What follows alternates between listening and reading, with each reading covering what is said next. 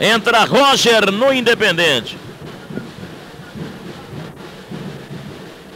Cobrado escanteio. Bola na grande área. Um soco na bola do goleiro Davi. É a pressão do Independente. Zé Preta vai fazer novo cruzamento. Jogando ali perto da alça do Caldeirão. Ceará corta, afastando Veidal. Dá uma entrega para Everson pela direita. Tenta fazer a tabela com Antúzio, travado na hora H pelo Nerivaldo. Independente desce. Charles entregando. Pra Zé Roberto, tiro pro gol. Lá dentro! Gol!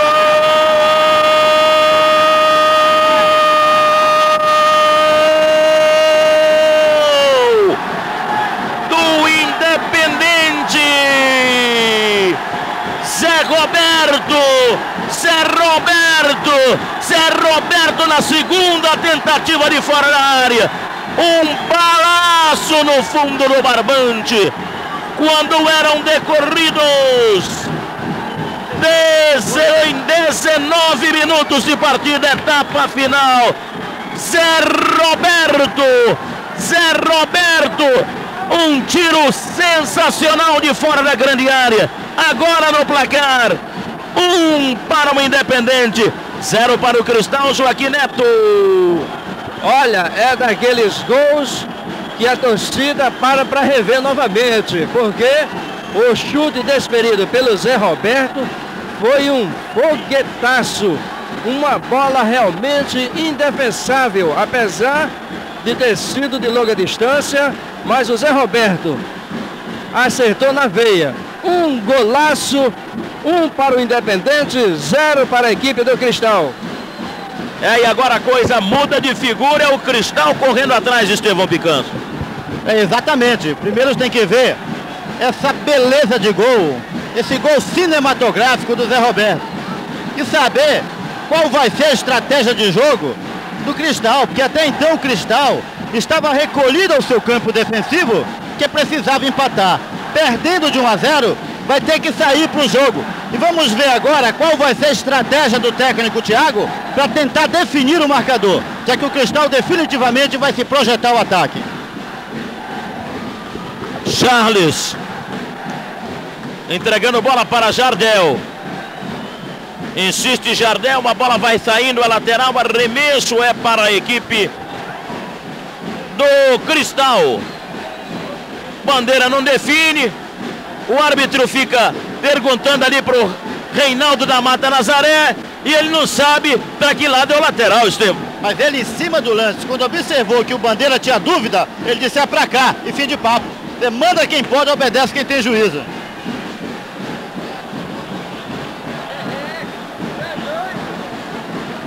Lateral vai ser cobrado ali pelo jogador que é Neirivaldo.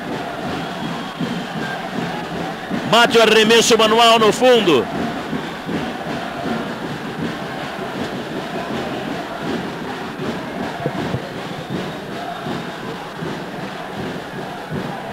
Arremesso de bola, prepara-se por ali o jogador que é Neirivaldo. Um para o Independente, zero para o Cristal. Lateral cobrado. Matheus. Devolvendo o cruzamento na grande área. Miranda de cabeça. Corta por último Marco Aurélio. Antúzio. Cristal tenta sair do campo defensivo. Ainda Antúzio. Boa jogada, adianta demais. Zé Roberto corta botando para lateral.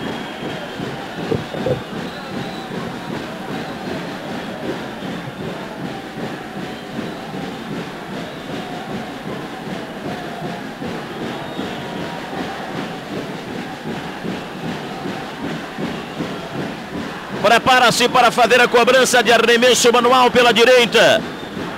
Jogador Giovani. Camisa número 5 pelo Cristal.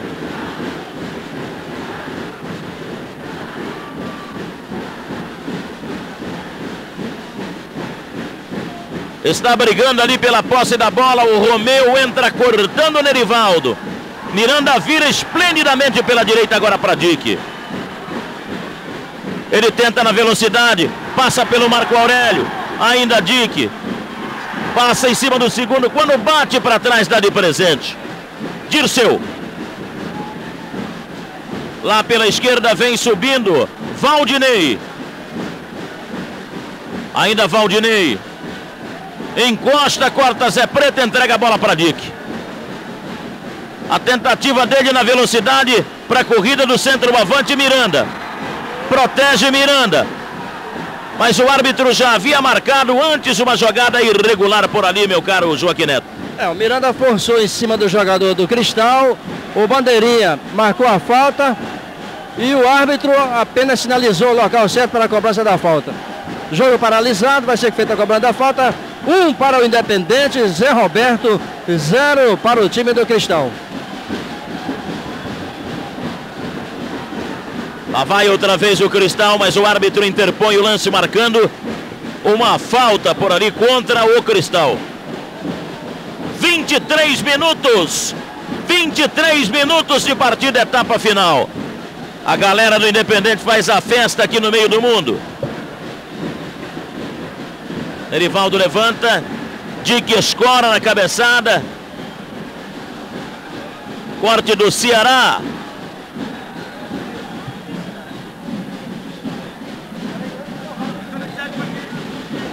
Bola para lateral.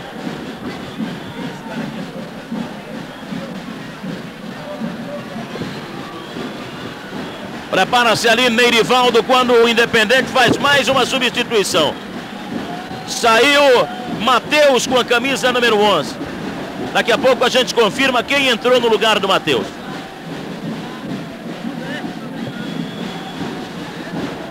Entrou Gilberto Cametá.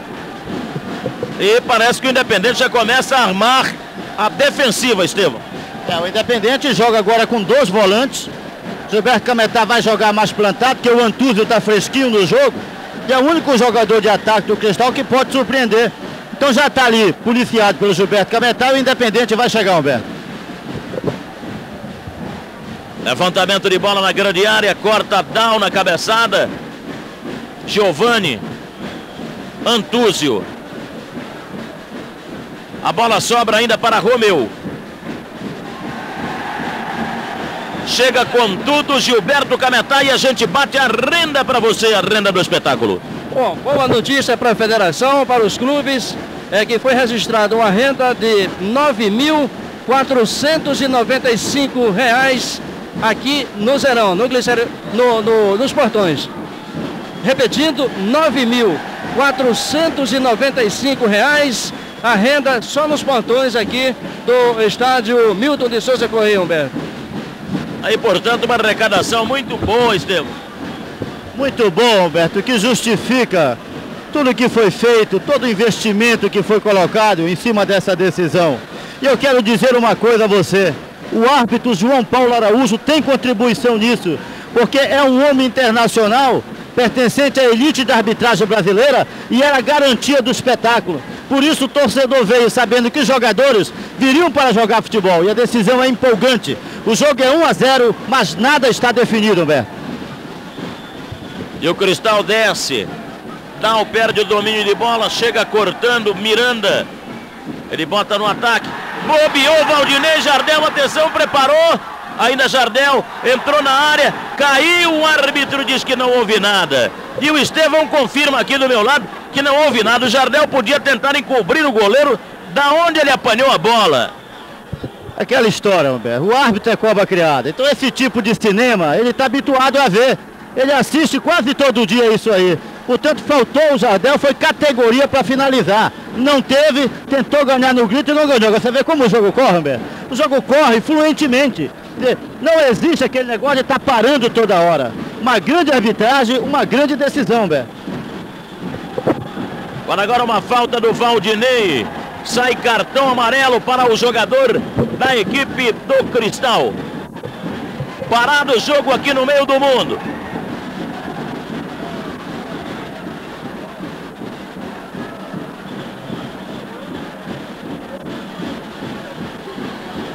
a caído o jogador do Independente.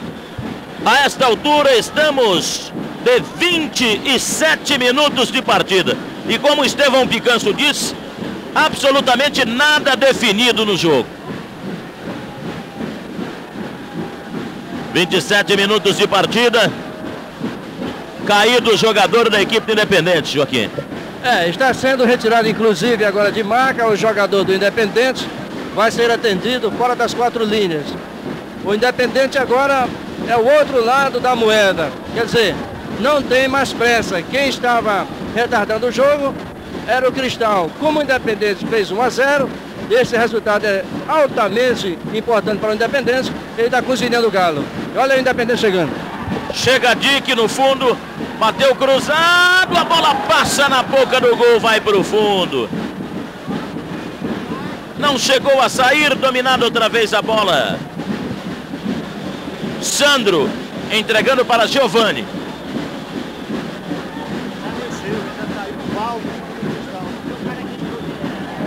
Chegou cortando bem Gilberto Cametá. Encarou e acabou perdendo bola para Valdinei. Romeu. Auxiliando a defensiva por ali o Dick. Sobra de bola de Chumbinho. Romeu insiste na esquerda. Marco Aurélio. A bola bate na zaga. Fica para Gilberto Cametá. Tentando para Miranda, Valdinei corta. Zé Roberto cabeceia para o lado. A bola cai com o jogador que é Everson. Everson vai para o lado da área. Bateu primeiro. Tocou agora. Na primeira não conseguiu atirar para o gol por ali Giovani. Na segunda cortou a zaga. Sandro. Everson. Dirceu. Boa jogada. Ainda Dirceu. Cruza na área. Sai o goleiro. Saiu ali o Cleomar para fazer a pegada. Galera do Cristal agora ficou com um grito de gol na garganta, Joaquim. É, demonstrando um certo nervosismo, o goleiro da equipe do Independente quase complica. E o mais interessante é que o presidente Rosemiro Rocha aqui na nossa frente acabou se contorcendo todo ali na cadeira. Chegava o Cristal. Chegava o corte da zaga. Tentativa do Nerivaldo. Marco Aurélio retoma.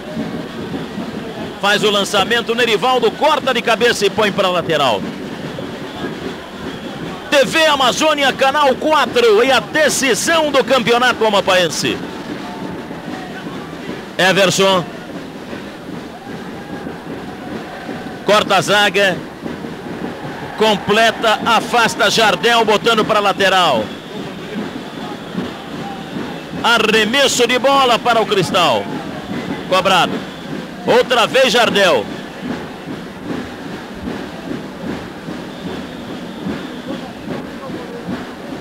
Prepara-se. Sandro cobra. A bola fica dominada outra vez pelo jogador do Cristal. Agora Giovani. Giovani vira. Procura tranquilizar. Agora é a vez do Cristal ir todo para cima. Lançamento para entrada da área, Dal. Virou para o gol ali o Antúzio, jogou longe pela linha de fundo. É só tiro de meta, sem perigo, Joaquim. Sem perigo, a bola foi fraca, muito longe, apenas o goleiro da equipe do Independente, o Cleomar, fez observação, foi buscar a bola lá no fundo sem muita pressa, porque o Independente vence por 1 a 0 no placar Chanflora, aqui no Milton de Souza Correia. Zé Preta. Agora para Dick, vai para o fundo, ainda Dick. Esqueceu a bola, lutou pela posse. Marco Aurélio toca nela, mas o árbitro diz que quem botou a bola para fora foi o jogador da equipe do Independente é só tiro de meta.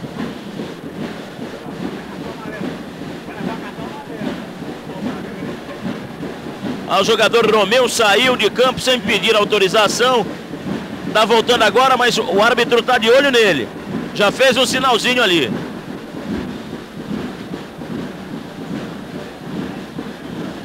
Bola rolada para Dick na ponta direita. Marco Aurélio encosta, atropela o jogador do Independente. O árbitro marca a falta. Falta para a cobrança de Zé Preta. Aos 32 minutos de partida, o Independente está com a mão na taça.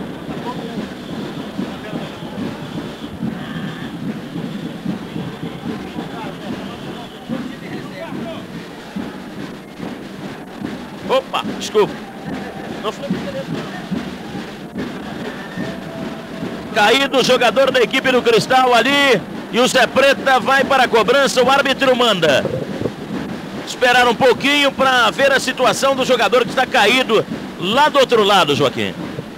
É, o árbitro paralisou porque o jogador do Independente, se não me engano é o Marco Aurélio, ele sentiu lá na jogada com o atacante Dick, acabou levando a pior e ficou caído.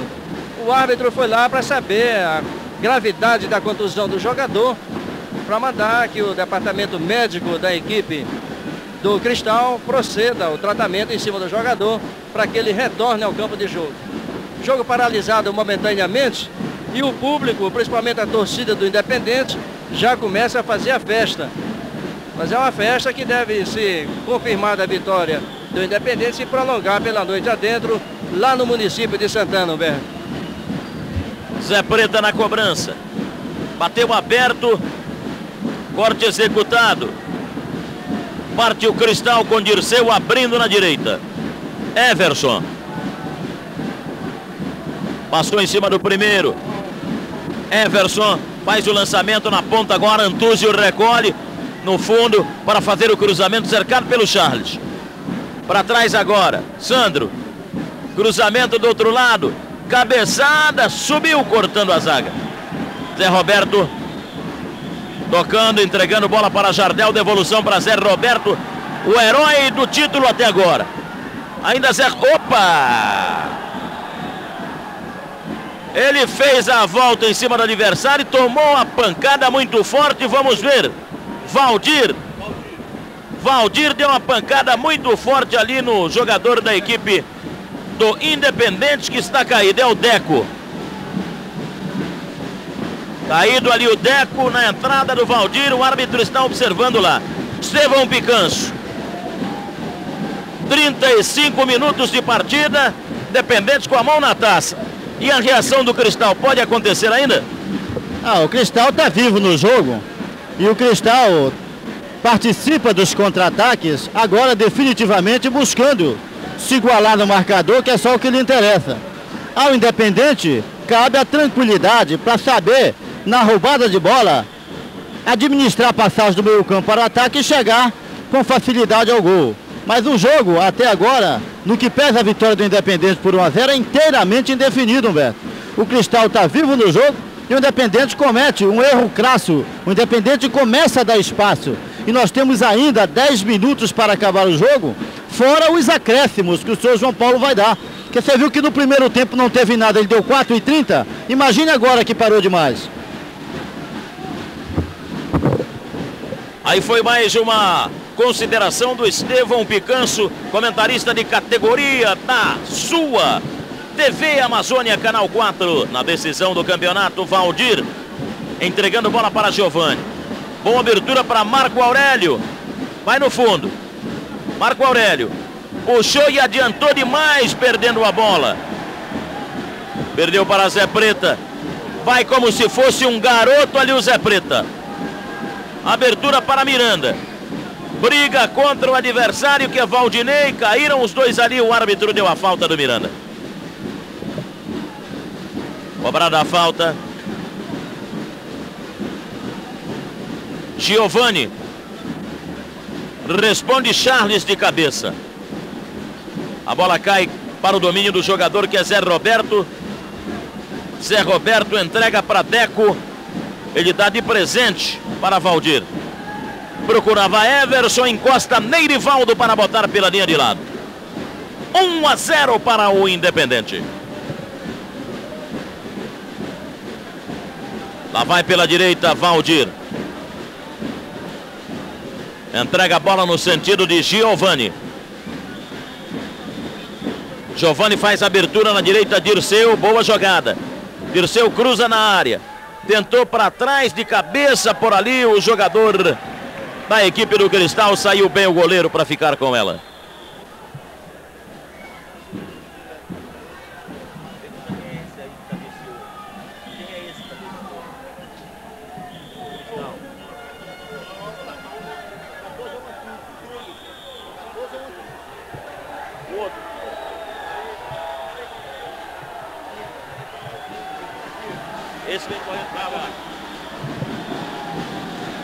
Desce o Cristal pela direita.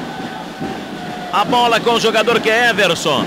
Adianta, chega, corta, a zaga, vem para Miranda. Antecipação de Valdinei cortando. Volta com Dirceu que retarda no campo defensivo. Valdir atirou. Vem no peito do Ceará. Tentativa é pela direita.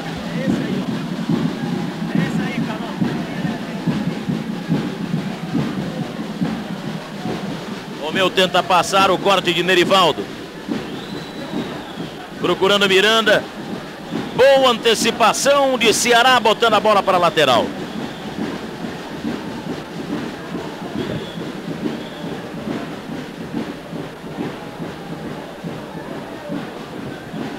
Prepara-se Neirivaldo para a cobrança. 39 minutos de partida. Seis para acabar o tempo regulamentar. Vai Miranda pela esquerda. Encosta outra vez o Ceará botando para a lateral.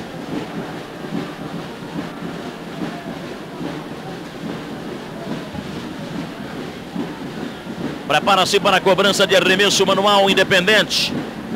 Ali com o jogador que é Neirivaldo.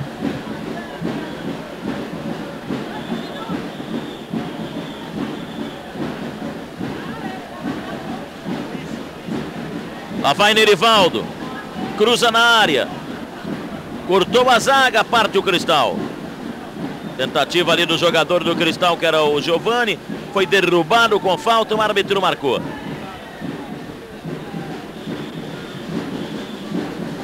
Marco Aurélio pela esquerda. Levantamento, corta na cabeçada Zé Preta. Insiste outra vez. Cristal pela esquerda, Marco Aurélio. Marco Aurélio Giovani. Virando agora pela direita para Valdir. Entra cortando na cabeçada, afastando Gilberto Cametá. Jardel coloca para lateral aos 40 minutos. 40 minutos, 5 para acabar. Levantamento de bola na grande área do Independente bobeou a zaga, mas não teve domínio por lá o jogador ao rubro. E o árbitro marcou uma falta ali pela entrada da grande área para a defensiva do Independente. Agora que começa a contagem regressiva, Estevão Picanso. Exatamente, 40 minutos de jogo, Humberto. O Independente não pode errar. Tem que estar atento para todos os detalhes para não perder o título. E o Cristal tem que partir com tudo ou tudo ou nada, porque esse resultado não me interessa. Então esses cinco minutos finais, mais os acréscimos que serão dados, eles serão emocionantes. E vou te contar, já tem nego com coração na mão, velho. Quando chegou ali o jogador da equipe do Cristal para ser expulso de campo. Expulso de campo corretamente.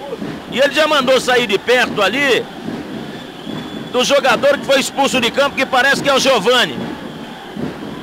Giovani expulso de campo. Entrou em cima do Nerivaldo, que está caído. E o árbitro em cima do lance mostrou cartão vermelho corretamente, Estevam.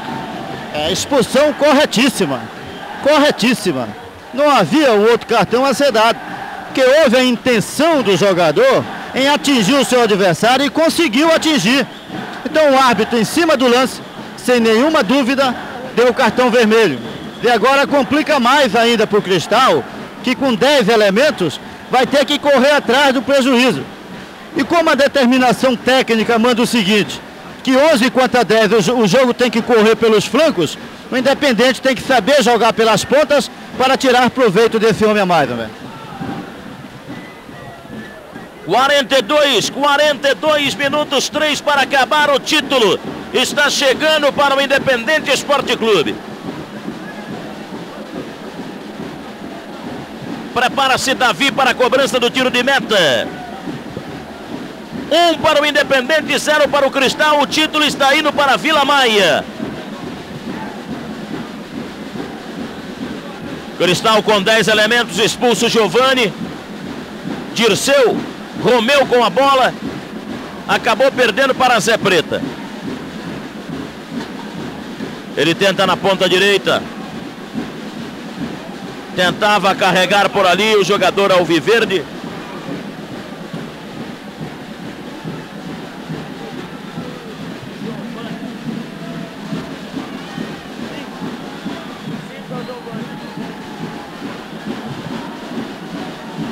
Prepara-se o Independente para uma cobrança de falta. Bola cruzada para a grande área. Vai direto para a linha de fundo. Ali o Gilberto Cametá botou a bola para fora. E está caído por lá o Dick. Não, Dick não. Um jogador caído ali do outro lado.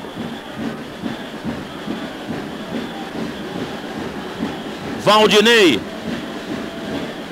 Procurando o Antúzio, antecipação de Charles, cortando e atirando de qualquer maneira a bola para o alto. Dick. Uma entrada do jogador Valdinei em cima do Dick, caiu, lateral apenas. Tem impressão que o João Paulo Araújo ainda vai expulsar mais alguém nesse jogo. 44, um para acabar o tempo regulamentar.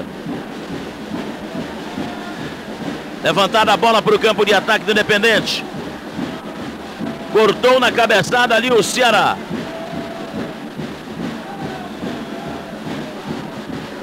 Everson.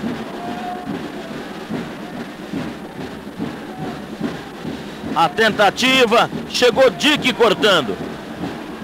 Entregou ali para o Jardel, Jardel com Miranda. Vai para a tabela. Jardel, outra vez para o Miranda. Tem um torcedor dentro de campo. Tinha que aparecer, tinha que aparecer um campeão, Estevam. Vou te contar, Alberto, isso me deixa triste demais porque eu não consigo entender em todo canto acontece um gaiato desse, rapaz. Dizer, quando o jogo tá bonito, independente tá no ataque, entra essa figura, chega lá, atrapalha o time. Quer dizer, o árbitro teve que parar e já tem outro. Tem que acabar com isso. Tem que montar um esquema aqui com policiamento, que o jogo não acabou. O jogo só acaba quando o árbitro apita final de jogo. Então festejar antes, não é por aí não, tem que esperar o árbitro terminar o jogo. Agora o pior é o seguinte, se a polícia levar um sujeito desse preso daqui, todo mundo